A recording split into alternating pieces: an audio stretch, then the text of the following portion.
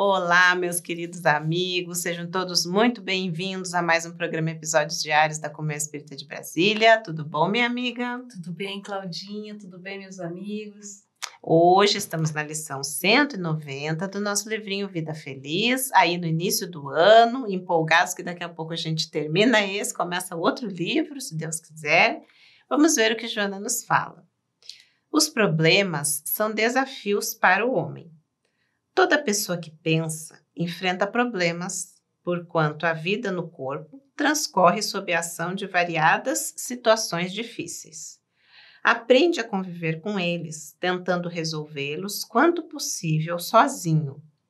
Se não o conseguires, busca a experiência de outrem e luta até solucioná-los no momento próprio.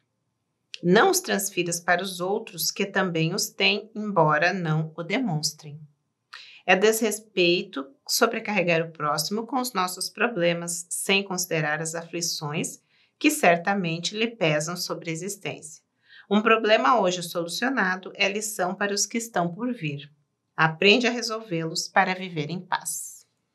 É, missão bem é, que nos convida muito aos, a enfrentar os nossos desafios e os problemas com autonomia, porque muitas vezes nós sobrecarregamos os outros com os nossos problemas, ou então os outros nos sobrecarregam, né, também. E nós precisamos tanto ser aquele que dá limite para o outro, porque você não pode resolver, muitas vezes com relação a filhos, né? Quem é mãe, quer ajudar, quer sempre estar tá amparando.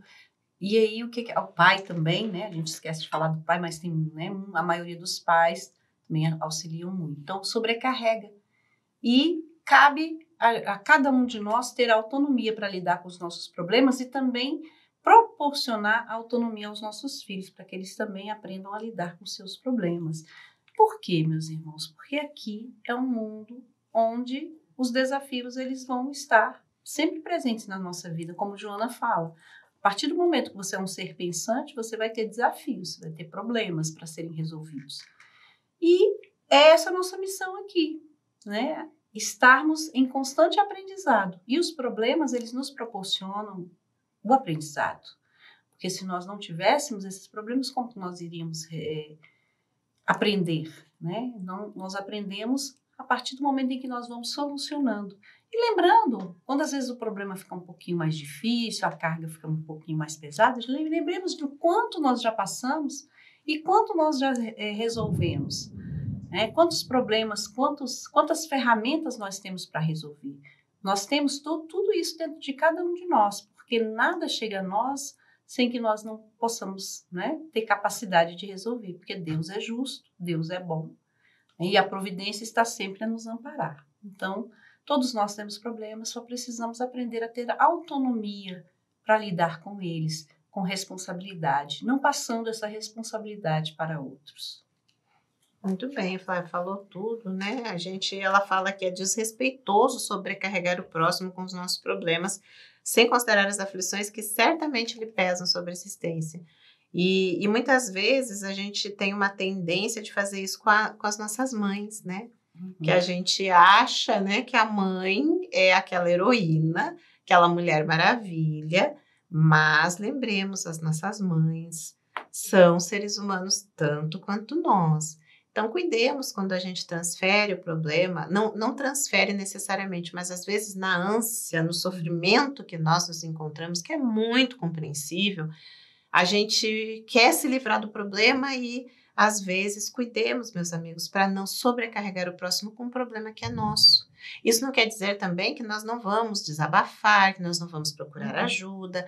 É só o equilíbrio, como Joana tem chamado a atenção em todas essas lições o equilíbrio sempre, para que nesse caso dos problemas a gente não sobrecarregue pessoas que nós amamos profundamente. É, só um adendozinho, desculpa, Cláudia, que eu esqueci de falar, me veio para falar antes e eu acabei esquecendo. É, como Claudinha bem explicitou, nós temos várias pessoas que estão é, acostumadas a ouvir, então são preparadas para ouvir. Então, caso um terapeuta, um, um atendente fraterno, um padre, um pastor, todos estão são né, é, preparados para ouvir. Então, eles vão, vão fazer, vão auxiliar de uma forma é, sem sobrecarregar eles, porque eles sabem como utilizar. Já, às vezes, aquelas pessoas que a gente quer, mais próximas, mais próximas, a gente acaba sobrecarregando, principalmente no caso que a Claudinha falou, mãe, porque a mãe né, vai absorver os nossos problemas. E é isso, tomemos cuidado. e é isso. Até a próxima. Até a próxima.